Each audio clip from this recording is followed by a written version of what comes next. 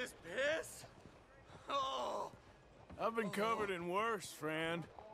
Just had to be me. Move it! A lot of companies coming out from back.